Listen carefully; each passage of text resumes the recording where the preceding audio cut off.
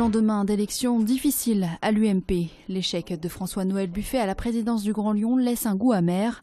Malgré une assemblée mathématiquement à droite, la vague bleue des municipales a finalement échoué aux portes de la communauté urbaine. À l'UMP, on parle aujourd'hui de trahison. On s'attendait à quelques voix d'écart, deux voire trois voix d'écart, et là on se rend compte que ben, les 92 voix de Gérard Collomb sont surprenantes. Ce qui est surprenant et qui me désole, c'est qu'il y a des personnes qui avaient pris l'engagement de voter François-Noël Buffet et qui ne l'ont pas fait. Et les regards se tournent aujourd'hui vers les élus du centre, considérés comme la clé de ce scrutin. À l'UDI, on s'en défend, même s'il n'y a pas eu de consigne de vote.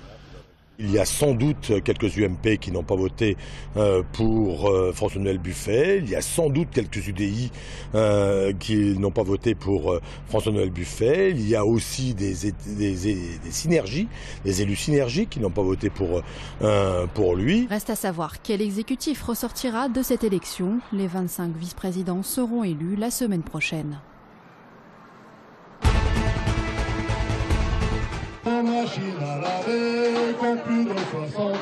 Manifestation des salariés de Citel ce matin devant le siège de la région à Lyon, où les élus ont voté une aide de 200 000 euros dans le cadre du fonds d'urgence de sauvegarde de l'emploi. Une aide exceptionnelle qui va permettre aux salariés euh, de pouvoir avoir euh, un salaire à la fin du mois parce que c'est important. Et puis euh, c'est important aussi pour donner du temps, pour que les offres soient déposées, pour que cette entreprise ne ferme pas. Nous tenons à cette industrie euh, et, nous, tenons beaucoup à ce que euh, les salariés qui sont dans cette entreprise puissent continuer à, y travailler. Euh, jusqu'à maintenant, on est en chômage partiel depuis le 7 novembre.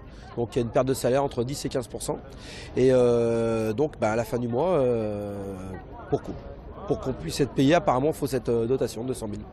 La date limite de dépôt des offres de reprise était fixée au 14 avril, mais les salariés n'y voient pas plus clair.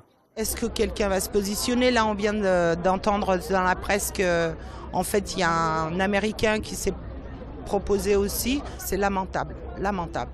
On a pu aider Fagor, mais on n'aide pas euh, Citel.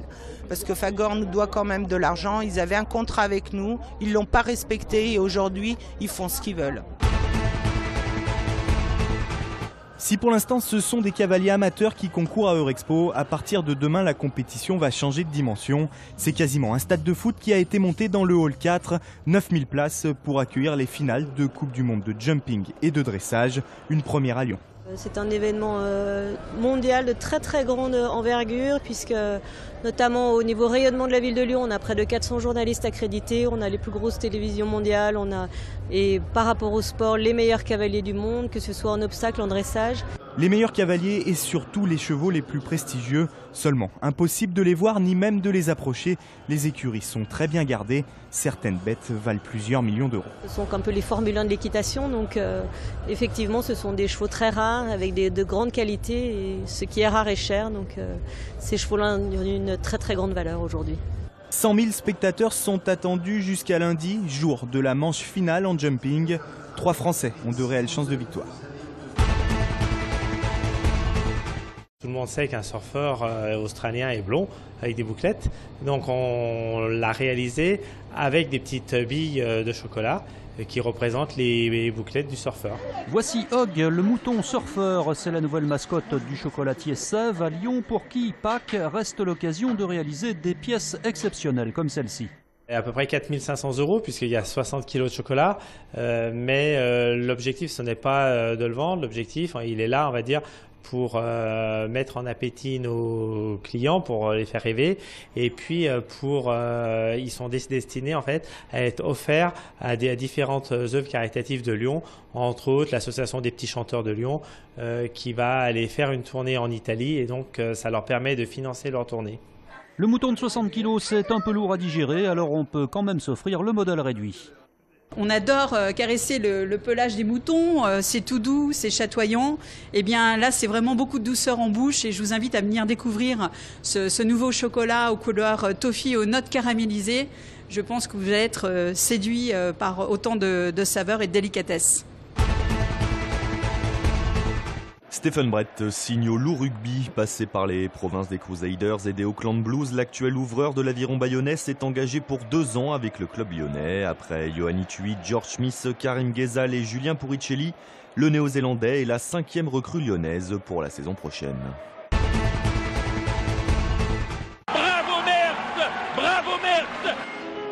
La grande histoire du sport racontée en photo. Des clichés du journal L'équipe sont actuellement exposés à la galerie de l'Institut Lumière. Oui, l'Institut Lumière, car sport et cinéma ont toujours fait bon ménage. C'est des photos qui ont été retenues soit parce qu'elles ont un lien direct avec le cinéma, c'est-à-dire euh, des, acteurs ou actrices ou réalisateurs qui, qui, assistent à un événement sportif.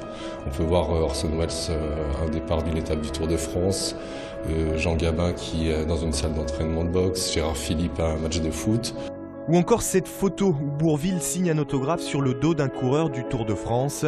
Mais il y a aussi les grands champions qui, eux, ont inspiré le cinéma, comme Mohamed Ali.